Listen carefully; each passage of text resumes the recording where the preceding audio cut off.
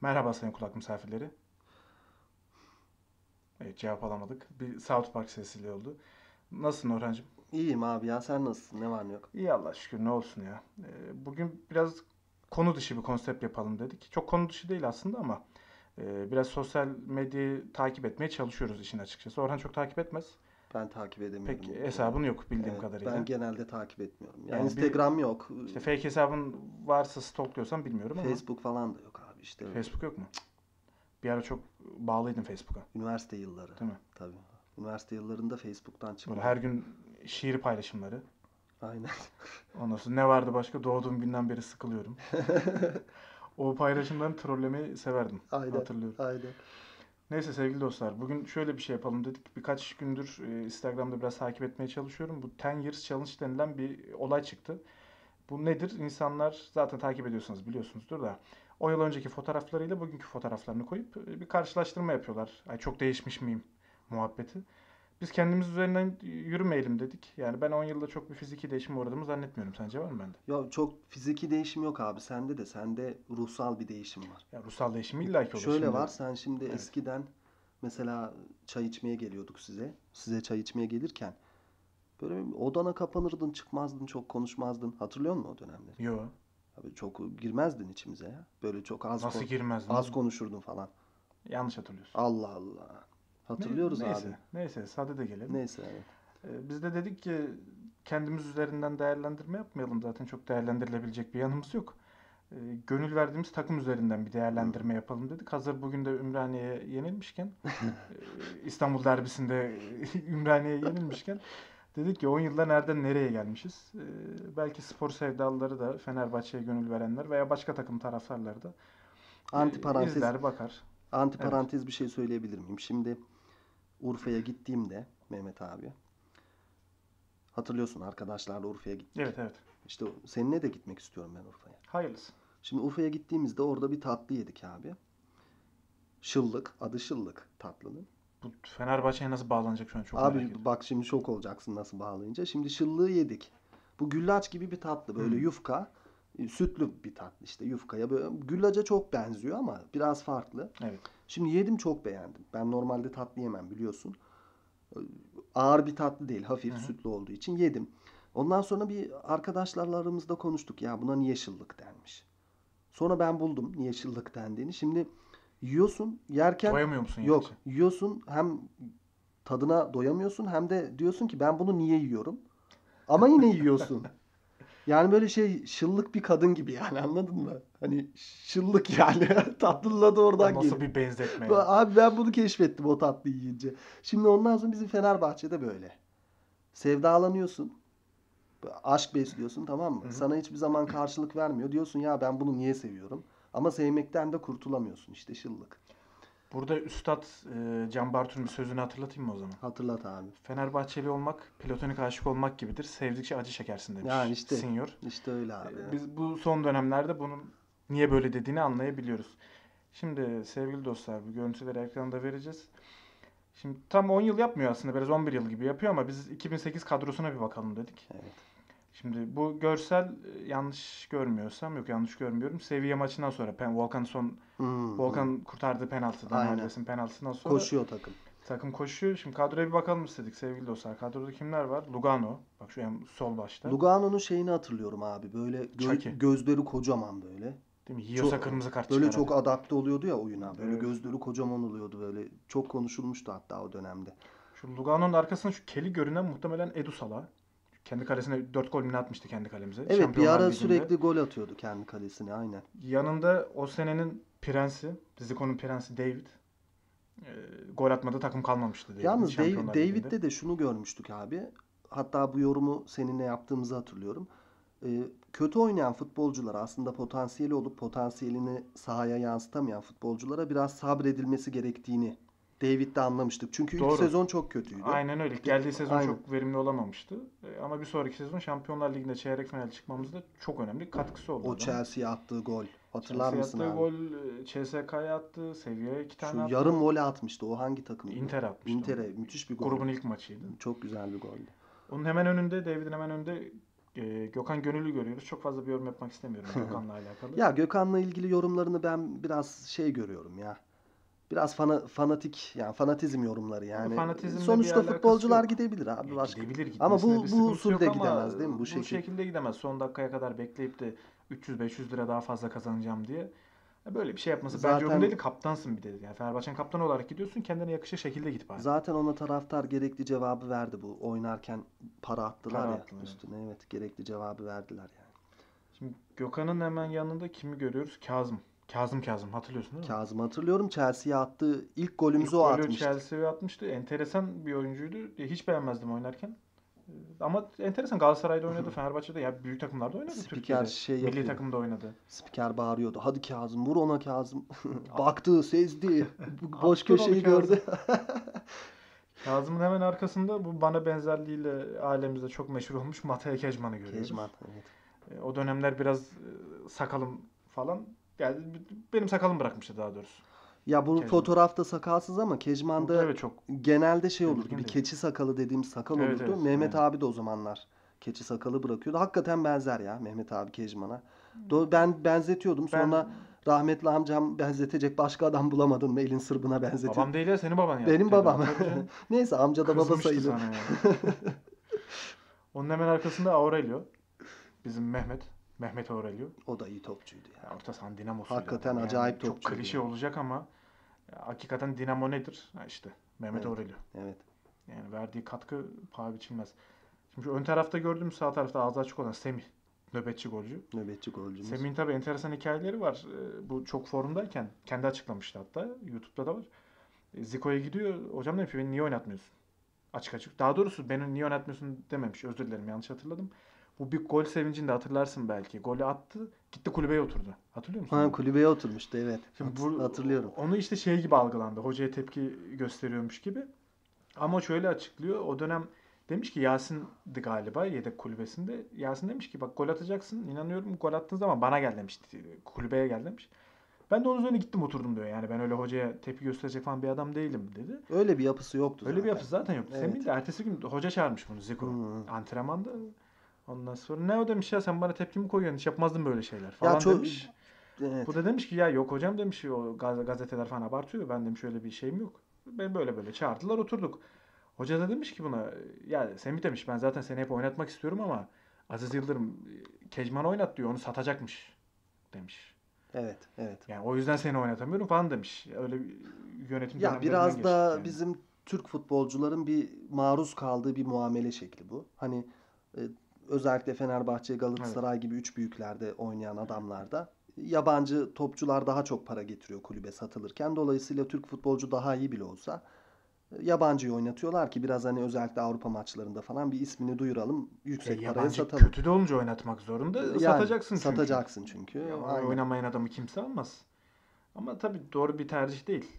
Ya sonuçta daha iyisi varken niye? Ya ben futbolda zaten şeye karşıyım. Yerli yabancı ayrımına karşıyım. Ama futbolcunun milliyeti olmaz. İyisi oynar. Kejman da kötü oynamaz. değildi abi ya. Yani Ya kariyeri güzeldi de. Bayağı gol Bizde atıyordu. iş yapmadı ki çok. niye gollerini hatırlıyorum. Şimdiki santraforlarla kıyaslarsan tabii yani ki gol atıyordu. yani Ya bizim İslam'la falan kıyaslarsan Tabii, tabii, ki gol atıyordu tabii ama canım. o döneme göre kötüydü. Şimdi Semih'in hemen arkasında da Ali Bilgin var hatırlar mısın? onu hiç Ali Bilgin. hatırlamıyorum. Onu hiç aklımda Biz bunu kalmamış. Antalya Spor'dan transfer etmiştik. Ee, o dönem böyle yedekten oyuna sokuyordu ara ara Zico. Bu Sevilla maçında uzatmalara gitti ya. Evet. Uzatmaların son bir 5 dakikasına falan Alex'i çıkardı bunu aldı oyuna. Hatta biz şaşırdık ya maç penaltılara gidecek. Alex gibi penaltıcı mı var? Yani. Niye alıyorsun bunu falan. Ee, ama şöyle bir şey olmuştu ya o da tesadüf denk geldi tabii. Son dakikalara doğru e, böyle orta sahadan kopup giden bir adamı bu da yeni tabii enerjik girdi ya. Adamı şey yapıp arkasından pres yapıp topu kapmıştı falan. E, orada tabii bizim skora göre konuşan yorumcularımız da ben o işte aldı orada hemen bir şey yaptı. Çok pres yaptı, topu kaptı. Alex olsa belki de gol yemiştik falan gibi. saçma saçma böyle yorumlar olmuştu. Dönem dönem kullanıyordu. Şu en uçtaki de Gökçek. Yani ben Gökçek çok Vederson. çok beğenmezdim açıkçası. Vederson'u mu? Hı. Çok beğenmiyordum abi. Ya Vederson çok beğenilecek bir oyuncu değil ama o o kadronun içinde iş yaptı. Uzaktan bir gol atmıştı. Onu net hatırlıyorum. Çok güzel, O jenerik bir gol şeye, atmıştı. Lille maçında atmıştı Evet, golü. çok güzel bir goldü. O daha sonraki yıllar bu yıl değil. Bu Chelsea maçında da asisti seviye maç. E, yok bu Sevilla maçı da hani Chelsea maçından Hı. bahsettik ya. Gök şeyin e, Kazım Kazım'ın attığı golün asistini Aurelio Aurelio yapmıştı. yaptı. Evet, çok güzel bir asist yapmıştı. David'in golün asistini de Maldonado yapmıştı enteresan. Maldonado diye bir Gerçi adam çok var. asist sayılmaz adam Evet. 30 metreden 90 astı topu ama o çok asist sayılmaz. Diğer görselimize geçelim. Ha, bu görsel yine benzer bak. Şeyden sonra gol sevincinden, penaltı sevincinden sonra. Evet abi. Burada şey daha belirgin bak şu Ali Bilgin şu. Hı. Şu sağ tarafta. Hiç aklımda kalmamış ya. Çok oynamadı zaten. Yani. Ee, Zico, Zico enteresan yani. Deniz Barış'tan falan da faydalanıyordu. Bu tarz adamlar da faydalanıyordu yani. Demek enteresan bir ki hoca. akılda kalıcı işler yapmamış bu Ali Bilgin. E, Ak- Görev yani adamı abi bunlar çok şey Akılda değil. kalmamış yani. Zico. İşte bu da büyük hoca bizim için. Hakikaten büyük hoca ya. Gerçekten. Yani öyleymiş bunu sonradan anladık açıkçası. Tabii ya canım. gittiğinde ben gene üzülmüştüm. Ee, Bu kadar üzülmemişsindir. Bu kadar bu aramamışsındır. Ya bu kadar arayacağımızı tahmin etmedim. Evet. Hele bundan sonra Aragones gelince Evet. ya, o zaman farkına vardık. Ya bu işte Aziz Yıldırım döneminin böyle köhneleşmiş zihniyetlerinden işte yok şey yardımcısı çok para istemiş de ondan gönderdik de vesaire vesaire. Saçma saçma bahaneler. Alex'i gönderirken de işte bana saygısızlık yaptı falan gibi. E tabii canım. İşte doğru Yani doğru, doğru mu Samet? Benim, benim önümde ayak ayak üstüne attı. Doğru, doğru tamam. Ya, yansa söyle. Doğru mu Ya Samet? Çağırdım. 15, 15 3'te çağırdım. 3'ü çeyrek geçe geldi. ya böyle saçma sapan şeylerle uğraştık. Yani. Ali Koç'u da gördük. Ali Koç'u da Ali gördük. Koç daha görmedik canım. Ali Koç'u göreceğiz inşallah. Küme düşünce herhalde görmüş olacağız Görürüz abi. görürüz. Bak yani bu da işte Chelsea maçından sonraki şey. Gol sevinci. Evet böyle bir şey. O zamanlar modaydı. Kurbağa dansı mı? Bir şey yapıyorlardı. Yengeç dansı. Ha, ya. yengeç, David Brezilyalılar. çıkarttı zaten Evet, yengeç dansını. Brezilyalılar yapıyordu. Tabii Ama tabii, sanırsam David şeydi. çıkarttı. Brezilya'da yapılan bir dansmış zaten o. Ondan haberim yok. Ben öyle hatırlıyorum. Brezilya'da zaten yapılıyormuş. David Kadıköy'e taşımıştı o sevinci. Bu Ondan maçta da şeye yok. çok uyuz olmuştum. Ee, o hatırlarsın golden sonra işte David, Alex, Aurelio falan o golün atıldığı kalenin sağ tarafına böyle gittiler. Bu Chelsea maçını mı diyorsun? Chelsea maçı. Hı. Böyle sevinirlerken hakem bunları sürekli itiyordu. Hatırlıyor musun? Hani böyle sahanın içine Eliyle itmeye çalışıyordu. itti mi hatırlamıyorum. Böyle Gidin, gidin gidin falan. ama- Yani orada o tavır hiç hoşuma gitmemişti. Kendi stadında. Tamam da kardeşim, Gole bunu- seviniyorsun. Hakem sana böyle şey yapıyor. böyle. Ama sen de onu şey yapmazsan futbolcunun bokunu çıkartır. Yir- 20 dakika durur orada. Ya ne bileyim işte hani Onun örnekleri var. doğru gerçi doğru. Ya, O sabah doğru. kadar durur adam Acaba orada yani. dedim şey mi? Orada bir milliyetçi yorum yapmıştım. Acaba hani hakem Avrupalı ya. Yok be. Böyle hazmedemedi de gıcıklık mı yapıyor? Kıllık mı yapıyor? ya hazmedemese çalar bir penaltı. Gerçi, sana golü yani. gerçi doğru. Şimdi bir de şeye bakalım. 2008'deki e, Sıralama. lig tablosu nasıl bitmiş? Şimdi Galatasaray 79 puanla şampiyon oldu o sene. Evet. Fenerbahçe biz de 73 puanla ikinci olmuşuz. Burada düğüm şeyde kopmuştu. Ali Sami Yen'deki derbide kopmuştu hatırlarsın. Volkan bir boşa çıktı. Evet. evet. Nonda'nın önünde kaldı topu. Doğru. Edu'yla anlaşamadılar. Ee, yine Gol yedik. Klasik Evet. yediğimiz gollerden. Zaten Neredeyse Fener, yediğimiz gollerden. Fenerbahçe yenilmiyor genelde. O zamanlar için konuşuyorum. Şimdi değil Tabii. de tabii ki. O zamanlar şeydik. Fenerbahçe kendi kendine yeniliyordu. Bir hata yapıyordu, gol yiyordu. E, Hani bu sözü aramızda da söylerdik ya. Biz Evet. kendi kendimizi bitiriyoruz yani. Öyle bir takımdık o zamanlar. Şimdi buradaki görselleri eklememişiz ama bu kadroda tabii bir de kral var. Roberto Carlos. Tabii Carlos. Yani Roberto Carlos'u ben ilk Fenerbahçe transfer olduğunda çubukluyla gördüğüm zaman gözlerim doldu. Ne yalan söyleyeyim. Hakikaten o adamı çubukluyla gördüğüm zaman gözlerim doldu ve burada ilk maç, e, ilk hafta 3. 4. hafta maçı falandı. Yanlış hatırlamıyorsam Gençler Loftaş'ta oynamıştı Fenerbahçe Ankara'da. Koştur koştur o maça gitmiştim. Dünya gözüyle Roberto Carlos'u göreceğim diye. Ya benim için çok özel bir an. Gördün mü abi? Gittin değil mi o maça? Tabii gittim gittim Ha, oynadı. vay. Carlos da oynadı. Nasıl koşuyor abi adam? Ya Carlos. Tay gibi ya. Değil mi? evet. Carlos Tay gibi. Ya canlı izleyince birçok oyuncu zaten farklı görüyorsun. Yani ben Luciano'yu mesela daha eskilerden onu da canlı gördüm Ankara'daki maçta. Ya dedim bu adama nasıl çalım atabiliyorlar dedim ya. Yani çok acayip bir fizik vardı adamda. Yani boylu, kalıplı, e, çok ayakları sağlam yere basan falan enteresan bir topçuydu. Boyu boyu aslında farklı. kısa gibi ama Ya ekrandan öyle görünüyor ama saha içinde ya bu şey gibi olur ya. Hmm. İşte sahneye çıkınca devleşir ya böyle şarkıcılar, ufak tefek oyuncular falan. yani o kadar kısa değil mi abi? Ee, Yok Luciano'nun boyu falan değil. Çok Luciano kısa değildi ki. Yok şeyi Carlos'u diyorum. Yok ben Luciano için dedim. Ha ben Carlos için Yok, dedim. yok. sandım. Carlos'un boyu dilerim. kısa canım, Ha, kaçırmışım. Carlos. Benden falan bile Ha Carlos yani. için diyorsun sandım da ona Yok, yok. şaşırmıştım. Ya dedim ya canlı Hmm. izleyince Luciano bile farklı Evet. diye. Böyle bir durum var. Biz o sene bir de Beşiktaş'la puan puan almışız. Hatta Sivas'ta da ikinci, üçüncü, dördüncü sıradaki takımlar 73'er puan almış. Fenerbahçe, Beşiktaş, Sivas. Sivas bir önceki sene miydi, bir sonraki sene miydi? Şampiyonluğu kıl payı kaçırmıştı. Evet öyle bir kaçırdığı Sanıyorum sene bir vardı. sonraki sene Bir olması sonraki lazım. sezon olması Bir lazım. sonraki sezon olması lazım. Tabii o zamanlar e, Sayın Kulak misafiri biz şey yapıyoruz. e, Böyle maçları falan ailecek, sülalecek izlerdik o zaman. Çok keyifliydi. Çok keyifliydi. Böyle tribün havasında geçerdi bizim maç seyretmemiz. İşte rahmetli Şükrü amcam, Burhan amcam, işte Mehmet abi, Emre abi gelirdi. Değil mi? Öyle kalabalık, tabii. acayip izlerdik. Tribün gibi oluyordu. Bütün Tribün gibi kuzenler, oluyordu. amcalar vesaire e, tribün gibi yapıyorduk orayı. Şimdi biraz da bugünkü kadroya mı gelsek acaba? Evet, Ten Years Challenge Ten ya. Years Later'a gelelim Ten abi. Years Later'a bir gelelim. Evet. Şimdi kalede yine aynı ismi görüyoruz. çöküş hikayesine geçelim şimdi. Kalede yine aynı ismi görüyoruz. Evet. Ee, yanında Şikirtel kabul edilebilir bir oyuncu. 7-8 yıl Liverpool'da oynamış. Beğeniyorum Eyvallah. Şikirtel'i evet. Güzel. Yanında ne idüğü belirsiz. Ee, Rus-Alman kırması. Daha doğrusu Al- şey, Alman asıl da Rusya milli takımda oynuyor. Noştadır. Yani ben yani yedek kadroya bile almam. Açık konuşayım. Evet. Ve yanında efsanemiz. Roberto Carlos'tan sonra hatta ondan bile daha iyi Türkiye'ye gelmiş bir e, oyuncumuz. İsmi neydi? Hasan Ali. Ha Hasan Ali değil mi? Doğru. Pardon. Senin Facebook'taki şey paylaşımını hatırladım şimdi. Ben onu bugün Bu bir dün Instagram'da da paylaştım. bu bir çöküş hikayesidir. Sayın Kulak Misafiri Mehmet abi Facebook'ta paylaşmıştı. Evde böyle gördüm o paylaşımı yere yatmıştım. Bir tarafta Roberto Carlos, bir tarafta aynı mevkide oynuyorlar ya Hasan Ali Kaldırım. Altına da yaz- yazılmış işte bu bir çöküş hikayesidir. Hakikaten ciddi çöküş Ya ben onu hikayesi yani. Ten Years Challenge muhabbetini de Instagram'da da paylaştım. Alın size Ten Years Challenge'ın şeyi Allah'ı diye, Tillah'ı diye. Her neyse. Yanında Mehmet Topal. Ya İspanya görmüş adam. Evet hep Eminim. öyle deriz İspanya görmüş adam. Spider-Man. Orhan çok beğenmez de. Ben Ben beğeniyorum. Ben beğendim. Yani Mehmet Topal verimli olursa iyi bir Abi oyuncu. çok düz oyuncu. Sadece ya iyi stoper ama oyun kurabiliyor mu? Kuramıyor. Pas dağıtabiliyor mu? Oyunun atak yönünü Bir de değiştirebiliyor mu? adamın görevi oyun kurmak değil ki. Ama orta saha oyuncusundan biraz ben hücuma yönelik de olmasını bekliyorum. Hani böyle sırf defansif değil de biraz da ofansif. Yok. Yani şöyle düşün. Yani adam işte, Def- o zaman defans oyuncusu olsun Hayır, abi. şöyle Stoper şimdi olsun. futbol menajer falan oynayanlar da bilir. DMC derler o pozisyonu. Hı. Hani defansif midfielder Hı. diye. Şimdi oradaki adamın görevi hiçbir zaman oyun kurmak olmaz. Öyle mi diyorsun? Oradaki adamın görevi abi sağına soluna pas Ama gerçi bu şey değil mi? Orta sahayla defansın ortasında bir Ya pozisyon. bu ön libero denilen pozisyon libero, işte aslında ön yanlış libero. bir tabir de e, mesela Mehmet Demirkol falan çapa der o pozisyona. Çok daha mantıklı Hı. Türkçe bir kelime. Anladım. Ya o pozisyon çok şey değil. Oyun kurucu özelliği olması gerekmiyor ama Mehmet Topal çöküşte tabii. Ama şu Son da bir yıllarda. gerçek ki Alex'ten sonra adam akıllı bir orta saha tutturamadık. Alex de orta sahadaydı. Ama ki. Alex forvetti abi ya. ya çok da forvet miydi abi? Forvet, Sanki forvet.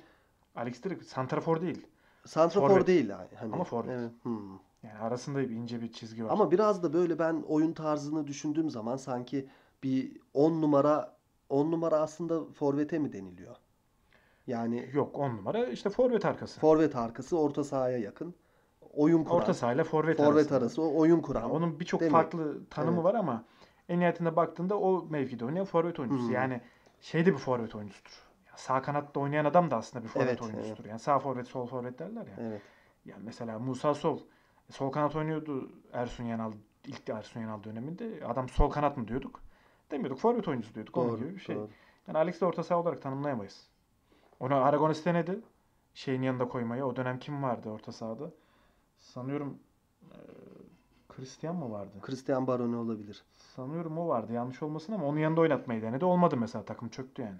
Ben öyle orta saha kastetmedim de işte o sağda solda orta sahada bekleyen iki adamın bir tık önünde oynayan, oyun kuran. E tabi diziliş olarak öyle. Ha, zaten öyleydi. Ha, Oyun, öyle öyle. aynen. oyun kuran hani tam böyle forvet deyince ben hani daha skoler, daha gol golcü böyle ne bileyim Hmm. aklıma şeyler geliyor. İşte ne Nobre, ne bileyim işte Kejman falan Van gibi Van Hooijdonk gibi adamlar geliyor. E tabi onlar santrafor. Ya santrofor aslında. Onları forvet olarak Evet, doğru. adlandırabiliyoruz. Doğru abi. Şimdi bu kadro da e, sanıyorum bu sezonki ilk maçın kadrosu. Hazırlık maçı da olabilir. Abi bilmiyorum. Ee, Van Persie mi şu?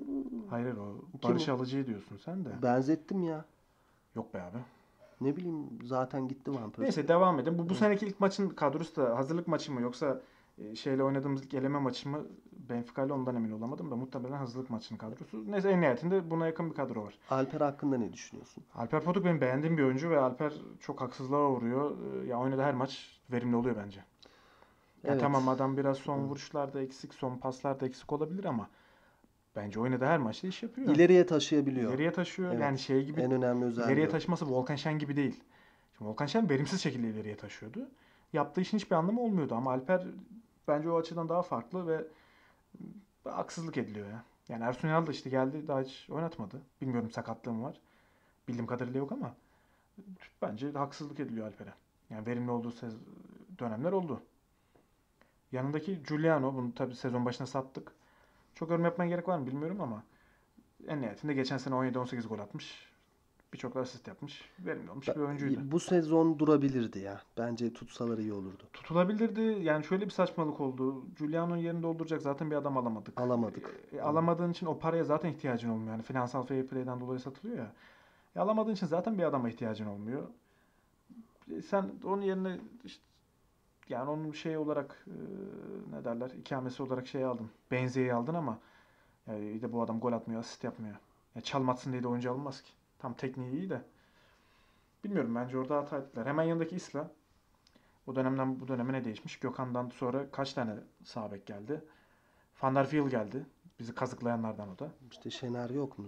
O dönem Şener geldi. Şener hala bizde. Sağ bek halen. Ee, sonra Isla geldi. Dirar geldi. Dirar da hala takımda. Dirar çok çöp bir oyuncu ya. Dirar çöp Mehmet ya. abi yani gerçekten Dirar'ı izlerken saç baş yoluyorum Ya ya. Dirar'ı hele bir de sağ kanat oynatıyorlar. Bek oynatmak biraz daha mantıklı da. Çünkü yaşı itibariyle de artık e, Koşamıyor, depar atamıyor. Gerçi Bek'in biraz daha tempolu olması lazım. O yaş itibariyle Gerçi da oynamayı da Ya şey de mi bilmiyorum da. bence belki şeyden daha zor. İleride e, topu ileriye taşımaktan daha büyük bir efor olabilir. Bekte e, adamı bek kesmek, adam takip etmek. Uzun mesafe Yani. gidip gelmesi gerekebiliyor. Tabii tabii. E, Dolayısıyla o yaş olarak onu kaldıramayabilir ama bir de bek oynamanın şöyle enteresan bir farkı var. Mesela Caner bize ilk geldiğinde sol açık oynuyordu ya. E, sol beke geçince daha faydalı olmaya başladı. Evet. Orada şöyle bir fark var. Şimdi bazı oyuncular e, geriden geldiği zaman daha iyi görüyorlar. Daha iyi sahayı. görüyor. Evet. Dolayısıyla daha nokta atışı ortalar yapabiliyorlar. Bu bazı oyuncular böyledir. Andre Santos vardı hatırlarsın sol bek. Hatırlıyorum evet. Eşek yüküyle gol atmıştı adam bizde. O da ilk geldiğinde açık oynatıyorlardı. Sol açık. O kadar verimli olamıyordu. Yani açık oynayınca bir de dar alanda oynuyorsun. Her oyuncuda o beceri yok. Dar alanda oynama becerisi. Evet, evet abi. Mesela Santos'ta, Caner'de hatta Uğur Boral yani o tarz oyuncular geriden geldikleri zaman daha etkili oluyorlar. Yandaki için ne diyorsun? İslam'ın yanındaki. Valbuena. Hı, küçük enişte. Ya Valbuena bence kesinlikle kalitesiz bir topçu değil. Yani sonuçta kariyeri de sen daha iyi bilirsin ama kötü bir kariyeri de yok bildiğim Yok, kadarıyla. kariyeri Fransa milli takımında da Fransa milli takımında oynamak da her baba yiğit oynayamaz. Kaliteli bir dünya kulübü takımı. Ama Valbuena biraz topla çok oynuyor. Topu çok eziyor Mehmet abi. Evet. Ee, Öyle Doğru, bir doğru. öyle bir hastalığı var. Ee, Ama onun haricinde aslında adamı beğeniyorum. Bir de şu anki tabloda yine en çok işi yapan adamlardan biri. Değil mi? En çok ona umut. En çok ona umut bağlayabiliyorsun. Şimdi yapar diye. burada kime şu Neustadter işte ne bileyim kim var abi başka gitti dedin Giuliano'ya. Hasan Ali. Hasan Ali, Topal, Elif. Topal hani onların arasında Valbuena yine bir sıyrılıyor. Ama Elif'ten de ben çok umutluyum. Aslında o çocuk biraz e, maçta da konuştuk ya bugünkü maçta. E, inisiyatif almaktan çekiniyor. Biraz yaşının küçük olmasından kaynaklanıyor. Hani hata yaparım, ilk beni harcarlar falan olabilir, doğrudur. Daha kaç yaşında Elif? Elif 19 yaşında. 19 yaşında. Dolayısıyla kolay iş değil yani gidip orada oynamak. Ya şöyle Hani- şimdi sen 19 yaşında bir oyuncuya Fenerbahçe gibi bir Yani. takımın e, şey ol, ara, hücumla Ha. savunma arasında köprü ol, o aradaki trafiği sağla dersen o iş biraz zor. Yani Elif'i e, daha düzgün işleyen bir sistemde çok daha yararlı kullanabilirsin. Ama- Bir de kendi ülkesine lafını bölüm. Özür dilerim. Evet ben seni bölmeye çalıştım. Bir de kendi ülkesinin milli takımında 10 numara oynuyor. Yani forvet arkasında oynuyor aslında. Nereli ki abi Elif? Güzel soru. Elif Elmas. Elif Elmas nereli hatırlayamadım. Abi Elif işte inisiyatif almaktan çekiniyor. Ee, yaşına bağlıyorum ben onu. Şimdi Macar diye isim var. Rezil olmak istemiyorum. Yok Ya ya Makedon ya Macar'dı rezil da. olacak bir şey yok abi. Niye rezil? Makedon, Makedon. Makedon. Ya ben Makedonya ile Macaristan hep karıştırıyorum. Ama kesinlikle kaliteli, yetenekli bir topçu. Ya ben öyle düşünüyorum. Ya Elif çok yetenekli canım. Yani üstüne çalışılırsa, inisiyatif alabilirse biraz daha kendini çok Fenerbahçe'de geliş- zor kalır. O dediklerini Aynen. yaparsan biz zor tutarız. Doğru, zor Fenerbahçe'de. tutarız. Evet. Şimdi Valbuena için de şunu söyleyeyim. Valbuena'da şöyle bir sıkıntı var. Bazı oyuncular birkaç şey iyi yapar. Çok iyi yapar. Evet abi. Valbuena'nın da yaptığı, çok iyi yaptığı 2-3 tane iş var. Ama bu oyunculara sen her şeyi yaptırırsan bu sefer iyi yaptıklarını da yapamamaya başlıyorlar. Şimdi Valbuena'nın iyi yaptığı ne dar alanda bir pas çıkartıp e, santraforu mesela kaleciyle karşı karşıya bırakmak ya da bir gol pası çıkartmak. Valbuena bunu iyi yapıyor ama sen Valbuena'ya gel geriden de top al. İşte ne bileyim hücumla savunma arasında bir geçiş sen sağla dersen e, bu adam her şeyi yapmaya çalışır ve ortaya sürekli sağdan sağa sola koşturan bir görüntü ortaya çıkıyor. Ya Mehmet abi şimdi Bir de dediğin gibi topla sürekli oynayan bir- evet. görüntü ortaya çıkıyor. Bir de Mehmet abi gelinen noktada e, ligde 17. sırada mıyız? Evet. 17. sıradayız. Küme düşme hattındayız. Ee, ve baktığın zaman da ikinci yarı başlamış. Bir sürü maç yapılmış. Yapılmamış. Başlayacak ikinci yarı. Şimdi özür dilerim karıştırdım da. Yani bir koca bir devre bitmiş. Ee, 17. sıradasın. Hani Fenerbahçe gibi bir kulübün bu noktalara düşmesi zaten çok enteresan. Bugün zaten yenildiğimiz takım Ümraniyespor. Yani hani Abdülkerim Durmaz'ın yorumları aklıma geliyor. Hani diyor ya biz futbolcuyken böyle Ümraniye gibi ne bileyim ya da ikincilik, üçüncülük takımlarıyla Türkiye Kupası'nda karşılaşırken bırak yenilmeyi, gol yemeyi bile kendimize yakıştıramazdık. Yediremezdik diyor. Çünkü biz bir Fenerbahçe kulübünün futbolcusu olduğumuzu bilirdik. Bu bilinçte sahaya çıkardık. O bilinçte top oynardık. Ne kadar büyük bir camiada olduğunun farkı. Yani camia çok büyük. Çünkü camia Cumhuriyet'ten yaşlı bir camia. Yani düşündüğünüz zaman bulunduğunuz devletten büyük bir camia yani yaş olarak. Hani böyle düşünüldüğü zaman bu adamların yaptığı hareketler çok ilginç. Hani eskiden hocaya bağlıyorduk. Bir ara Aziz Yıldırım'a bağladık ve gönderdik. Ali Koç geldi. Hocaya bağladık. İşte o gitti, bu gitti. Ersun Yanal geldi. E, ne olacak abi bu takımın bir kurşun mu döktürsek acaba? İş Yani- oraya doğru gidiyor artık yani. Hani Necati Şaşmaz diyordu ya ülkemize nazar değdi falan. Hani takımımıza nazar mı değdi? Ne oldu abi? Ben Aziz Yıldırım'a da hep söylerlerdi bu büyü yaptırıyor falan Kadıköy'e. O direklerin Tabii. oraya gömüyor memiyor falan. Hani 20 yıldır yenemiyor aynen. Hani ne yapılacak, ne edilecek bilmiyorum ki ya. Hakikaten anlamıyorum. Ama şu anki gelinen noktada hani Valbuena'yı değerlendiriyoruz işte Neusterdar falan futbolcuları değerlendiriyoruz da şu tabloda bence hiçbirine bireysel olarak suç atamayız. Çünkü takım takım olarak çok kötü. Şimdi şöyle bireysel olarak çok kalitesiz oyuncular. Şimdi 10 sene önceki kadroyu da bugün kadroyu işte yan yana koyduk. Evet. Şimdi bu dönem bu sene işte Volkan affedildi, kadro dışı kaldı vesaire. İşte Volkan da Harun götürecek Hı. kaleyi gibi görünüyor. Şimdi 10 yıl önceki Volkan'la bugünkü Volkan zaten Aynı değil. aynı değil. Bir ikincisi şu anki Harun 10 yıl önceki Volkan'dan zaten iyi değil. E, savunmaya bakıyorsun Şikertel tamam bir şey demiyorum. Ya onu mesela Lugano'nun karşılığı olarak yazabiliriz. Ama Noşladar Edu kadar bile oynamıyor. Edu kadar oynayamaz evet. E, Hasan Ali'ye geliyorsun. E, abi o zaman Roberto Carlos oynuyordu. Zaten mukayese kabul edilmez. Ya Hasan Ali falan Federson'dan falan da kötü. çok kötü Yani ama Federson falan da katkı veriyor. ben şeyi özlüyorum. Caner'i özlüyorum sol bekte. Ya o ayrı muhabbet. Caner'in gönderilmesi çok Çok çocuğun bir kabahati yok işin kabahati açıkçası da. yok evet.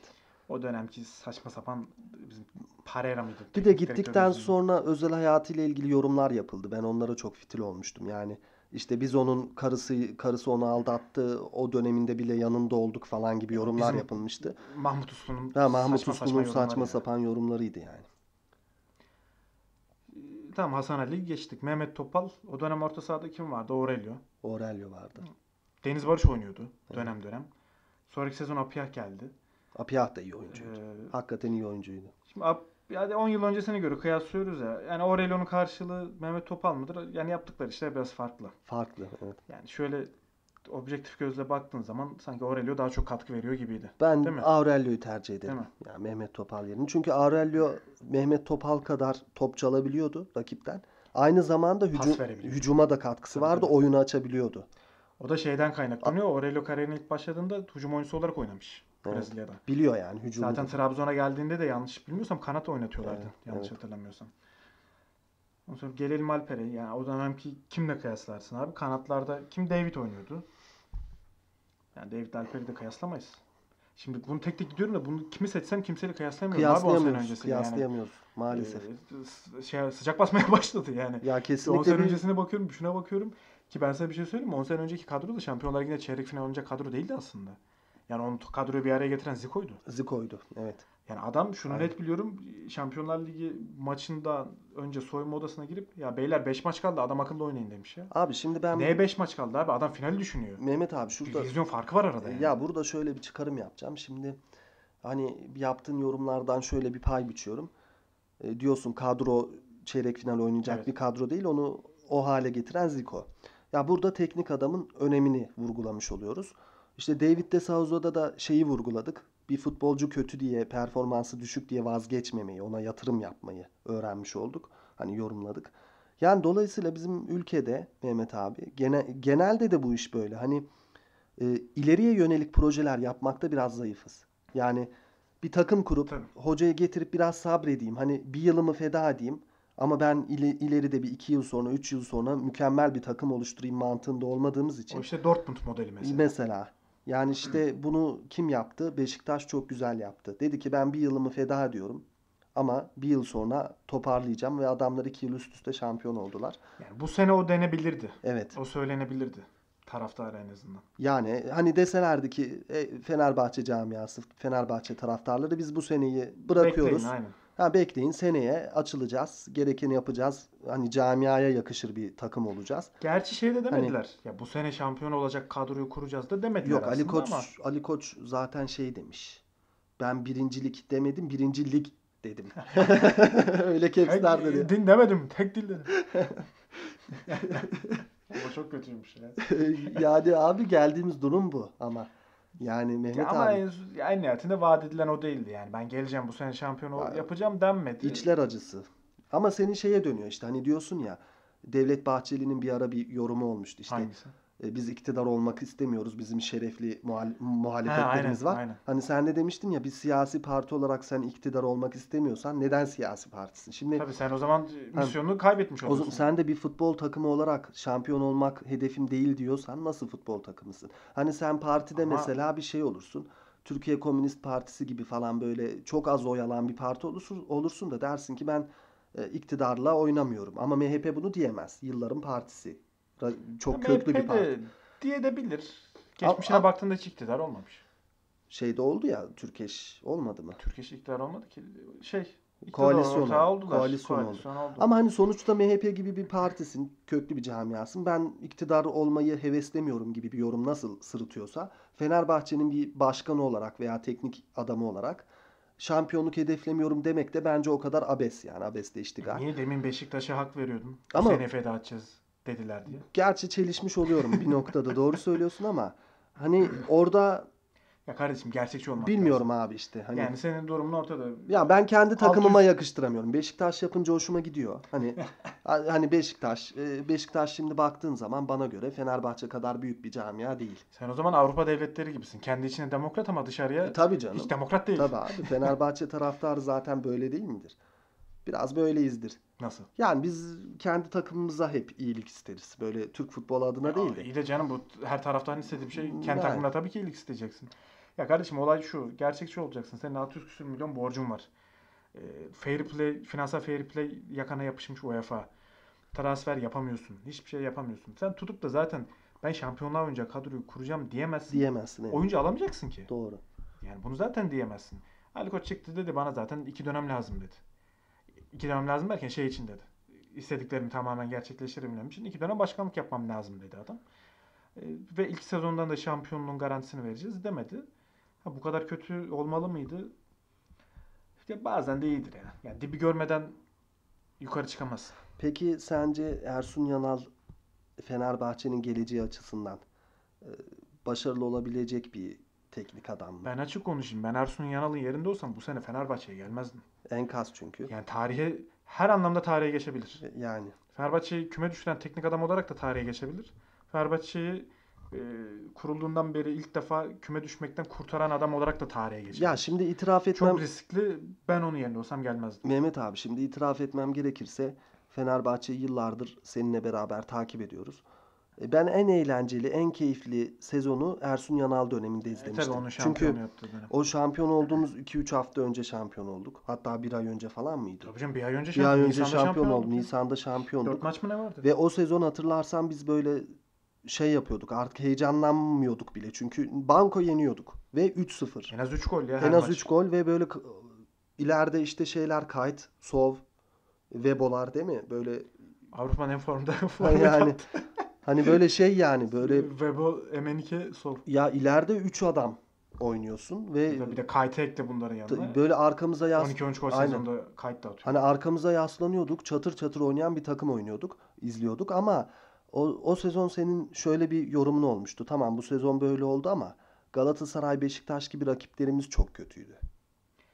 Ya o sene Heh. kötülerdi. Bu ama başarı bu Ersun- başarı Ersun Yanal'ın başarısını gölgede bırakacak bir şey değil. Ama söylem tamamen değil ama bir tık, bir tık bırakabilir. Hani şöyle diyorum, ideal bir ligde artık Türk Ligi gelişti. Ee, eskiden Anadolu kulüpleri benim ilkokul yıllarımda falan, ortaokul yıllarımda Anadolu kulüpleriyle oynadığımız zaman ya kesin yeneceğiz gözüyle bakardık. Artık bakamıyoruz. Ligin birincisi Başakşehir. Ama şöyle Hani- düşün. Şimdi Ersun Yanal döneminde Galatasaray veya Beşiktaş birazcık daha iyi olsa sadece şu fark ederdi. Biz o futbolla gene şampiyon olurduk ama Nisan'da olmazdı. Nisan'da olmaz. İki hafta kala olurduk. Peki o zaman Ama gene şampiyon olurduk ha, sor- futbolla. soruma geri dönmek istiyorum. Ersun Yanalı Fenerbahçe ya? Fenerbahçe'nin geleceği açısından hem Avrupa hem lig açısından e, Fenerbahçe'yi hani şey örneği verdim ya Türkiye'de dedim sabredilmiyor biraz Evet. fırsat verilmiyor. Mesela Manchester United'ın o efsane hocası vardı öldü herhalde. Alex Ferguson. Yaşıyor lan adam. Yaşıyor mu? Adamı. gömdüm. Çok yaşlıydı ölmüştür diye tahmin ettim. Emekliye ayrıldı ya. Evet. Kaç yıl yönetti abi? Yani çok uzun yıllar yönetti. Ve de. hepsinde de şampiyon olamadı. Şimdi Yani onu kim söylemişti ya? Sanıyorum Serdar Ali Çelikler söyledi. Arsene Wenger için söylüyordu. evet. O da 26 yıldır mı Arsenal'in başındaydı ya.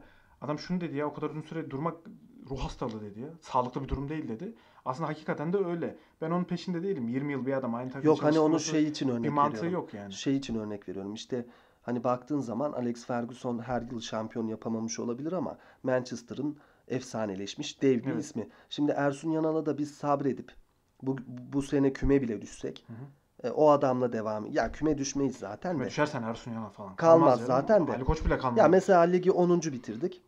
E, Fenerbahçe için bu da çok kötü bir sonuçtur. Fenerbahçe gibi bir camia için ama biz seneye yine Ali Koç'la, Ersun Yanal'la, bu futbolcularla sabredip devam edip e, Fenerbahçe bir yere gider diye beklemeli miyiz? Yoksa hocayı belki Ali Koç'u değiştirip yeni bir baştan aşağı yeni bir takım mı inşa etmeliyiz? Yok. Sen bu konuda ne düşünüyorsun? Yok öyle olmaz. Baştan aşağı yeni bir takım inşa edecek zaten mali durumun yok. Olsa mesela O- yapılmalı mı? Yani Olsa da doğru bir şey değil ki. Yani sen 10 tane oyuncu gönderip 10 tane oyuncu alman onu da yaşadık. Yani Pereira'nın geldiği Evet. ilk dönem. Van Persie'ler, Nani'ler vesaire hepsi geldi. olmadı. O da tutmadı. çözüm değil. Evet. Ee, Dolayısıyla istikrar şöyle bir şey. 10 tane oyuncu gönderip 10 tane oyuncu almak değil de gerçi bu kadronun da şöyle bakıyorum ben hepsini gönderesin. Abi hepsini göndersen gider yani hepsini bunlar. göndersen de gider Şimdi de. Volkan yaşlandı. O da Volkan kontratı bitiyor. Bitiyor Emekliye zaten. ayrılacak. Hani adam artık 37 yaşında abi ayrılsın ya. bugün yediği goller falan gerçi çok hatası yok Goller da. de hatası yok. Noştayder zaten çöp. E, Hasan Ali Kaldırım Abi Şikirtel'i beğeniyoruz mesela. Bu adam 34 yaşında. 34 yaşında ne kadar oynayabilir? Bu sene o da gidecek. E, Mehmet muhtemelen. Topal da yaşlı bir adam. Hadi o idare eder. Valbeo'nu tamam kaliteli Valbuena da yaşlı. 34 yaşında. yaşlı kaliteli topçu falan diyorsun da işte 2 yılı var 3 yılı var maksimum. Yani en fazla bir yıl Yani daha bu hani şurada şurada senin tutabileceğin bir tek Alper Potuk var. Genç olmasından ötürü. Elif var. Elif var. Barış var. Barış'a da kiralık verdik. Ya Barış var işte. İnşallah o Bir da de şu oynayıp yeni gelecek. aldığımız transfer işte sol beke Ha, almışız ya. Sol bek değil, stoper. Şey stoper Sadık, özür dilerim. Yerli Puyol. Ha Sadık yerli Puyol. işte o var. Hani tutacağın 3-4 adam ya. Gerisini Şimdi şutla kardeşim gitsin yani. bunun birçoğunu şutlayıp yeni oyuncular alamayacağız. öyle abi bu işte. çok belli. Şimdi e, dediğin gibi bu devam edilmesi gerekiyor. Eğer bu sene zaten küme düşersek çok farklı olur. Ortalık yangın yerine döner. Ben izlemem abi. Ne Ersun Kimi- Yanal kalır. Yok izleme izle izleme diye değil. Ne Ersun Yanal kalır. Evet. Yani Ali Koç yönteminde çok kalacağını zannetmiyorum. E, hiçbiri kalmaz ama dediğin gibi işte biraz daha yukarıda bitirirsek 10. 12. neyse. Evet. Ya tabii ki Ersun Yanal'la devam etmek gerekiyor. Yani e, adam bu sene enkaz devraldı zaten. Gene bir klişe ama hakikaten bu adam bu sene enkaz devraldı. Seneye yine en azından onun istediği oyunculara yakın oyuncular alınıp birkaç tane de şu aksayanlar gönderilirse en azından biraz daha kafaya oynayan bir takım kurulabilir. E, yoksa öbür türlü ya onu gönder, e, hocayı da gönder, başka hoca aldı. Biz zaten şu an dört tane hocaya mı ne para ödüyoruz. Parera'ya ödeniyor. Aykut'a ödeniyor. Kokuya toplumu ödediler ne yaptılar bilmiyorum. E Şimdi Ersun Yanal geldi. E bu dördüncü oldu. Biz şu an dört tane hocaya para ödüyoruz. E bir tane hocamız var. E bu- bununla beraber bir de bunların ekibi var. Yardımcıları vesaire. Sadece şeye para ödenmiyor ki. Hocaya para ödenmiyor ki. Adam 10 kişilik ekiple geliyor. Her gelen adam kendi ekibiyle geliyor. Dolayısıyla bunların hepsi maliyet. Ee, benim aslında arzum şuydu. Bu sene sonuna kadar Fenerbahçe en azından küme düşürmeyecek. Biraz daha iyi top oynatacak bir hocayı alıp yani gülecekler belki ama Yılmaz Vural'ı getir abi. Evet. 6 aylık evet. tamam mı? Sezon geri kalanı için. Ne bileyim Ümit Özat'ı getir. Birini getir. 6 ay devam etsin. Sene sonunda ne yap et? Abdullah Avcı'yı ikna et. Para mı veriyorsun? Cebinden mi ödüyorsun? Ali Koç'sun sen. Öde cebinden.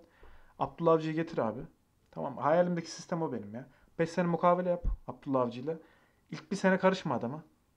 O da böyle 17 falan yapmaz ha. En kötü ikinci, üçüncü yapar Abdullah Avcı yani. Yapar bence de. Ve sonraki geri kalan 4 sezonun da en az 3'ü şampiyonsun. Net yani. Şimdi bazı oyuncular vardır ya paket program 20 golle beraber satın alırsın. Cardozo mesela öyle oyunculardan biriydi. Net bilirdin adam senede 15-20 golleri satar. Abdullah Avcı da öyle bir adam. Sen adama emanet ettiğin her şeyi ona emanet ettiğin zaman o başarı gelecek. O net yani. Benim aklımdaki oydu ama Ersun da tabii 6 aylığına gelmez. Adamlar da 1,5 yıl imzaladılar. Bakalım göreceğiz. Evet abi. O zaman şimdi kapanışa geçelim, değil mi? Olur. Kapanışa geçebiliriz. Bence kapanışı şeyle yapalım diyorum. Kan ağladı bu yürekler. Kan ağladı yürekler. Ben onu şeyin sonuna ekleyeyim. Uykusuz geçti geceler. Videonun sonuna ekleyelim onu. Başını öne eğme aldırma. Aldırma Fener. Çok, Çok yakında güneşli güneşli günler. Evet. Sevgili dostlar bugün biraz Fenerbahçe muhabbeti yapalım istedik. Ee, içimizi kan ağlayarak. Daha güzel günlerde görüşmek üzere. Sayın kulak misafiri bizi dinlediğiniz için çok teşekkür ederiz. İşte dediğimiz gibi biz sülalecek Fenerbahçeli adamlarız. Sülalemizde sadece kadınlar, bayanlardan böyle firelerimiz olur. Fenerbahçe tutmaz. İşte Galatasaray, Beşiktaş falan tutarlar. Ha, onun da cevabı açık. Kadınlar çok anlamaz futboldan. Hepinize teşekkürler.